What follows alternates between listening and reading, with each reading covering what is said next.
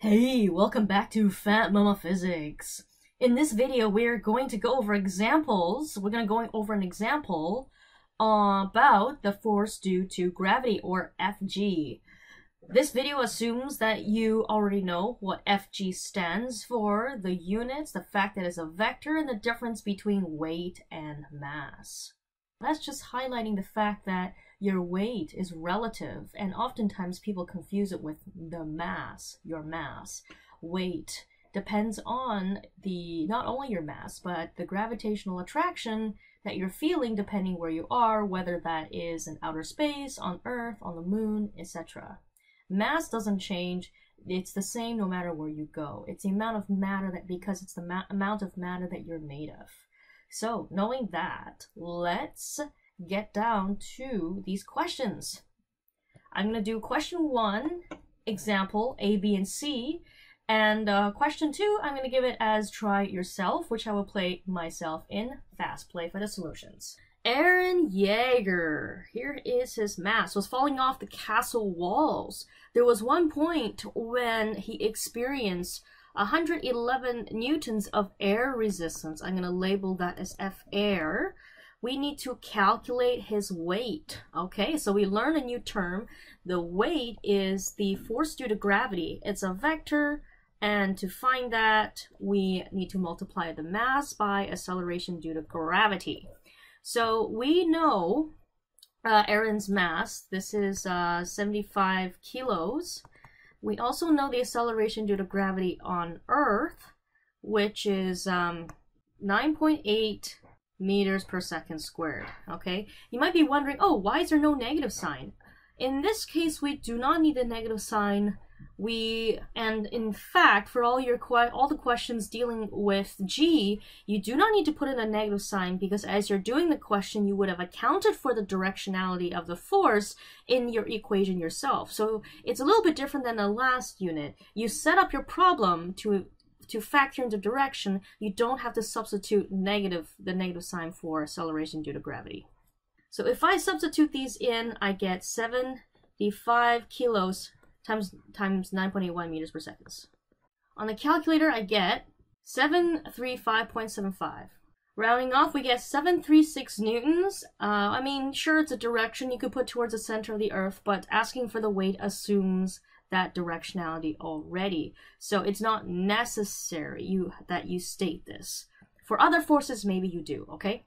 Question B, the net vertical force acting on Eren. And don't forget, we need to draw a free body diagram. Drawing him as an oval, we have the force due to gravity acting on him. We have the uh, acceleration due to gravity, which we found out is a 735. 375 for no rounding. Air resistance is in the upwards direction when if he's falling downwards, and uh, that is 111 newtons. I'm also going to label the downwards direction to be our positive direction. Uh, the reason why I like to do that because Fg is greater than F air just gives me a positive number to work with. So then the net vertical force acting on him is me looking along the vertical line and summing up the forces in that direction. Put the y for the vertical and subtracting f air because it's pointing opposite to my positive direction. Making sure that I do not round off my answers from the last question, I get 62475 rounding off 625 newtons, and this is where I must date the direction because the net vertical force is in a downwards direction. Okay, question C, we need to calculate his vertical acceleration. We know that F net is equal to ma. To find the acceleration, I need to know the mass and the F net. I do know the F net from the previous question right here, and as for the mass, it was given to me in the question already. So solving for acceleration, I get F net over m, so that's uh, 2, so that's 625 newtons divided by 75 kilos. I get 8.3333 repeated, which is going to round to 8.33 meters per second squared in the downwards direction. Or I could use Newton per kilogram as my units. That works too.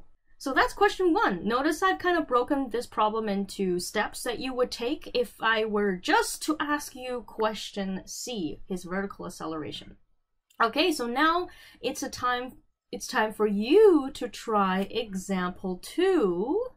Let's just make sure you understand the problem. Finally, Eren Yeager, his mass, reaches terminal velocity from the last question. Calculate the air resistance acting on him.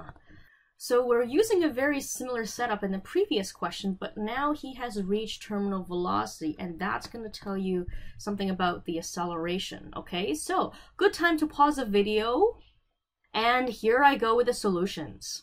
At terminal velocity, the acceleration is going to be zero. So if we draw a free body diagram, the Fg is going to be equal in magnitude to the air resistance, but opposite in direction. So if we write this all down, our F net is going to be zero because acceleration is zero. That way, when we write F net out and solve for the force due to air resistance, we get the force of gravity is going to be equal to air resistance, giving us 736 newtons, but in the upwards direction. Okay, so here we have a solution. Because the Eren is going at terminal velocity, he is not accelerating, meaning that the two forces opposing one another are going to be equal and opposite. So it will his the air resistance will be just equal to his weight, but in the upwards direction. I guess if you just wrote all that down in words without doing all these steps here, that would have been fine as well. But this is just to uh, give you an idea of the setup, so you practice the setup for future questions.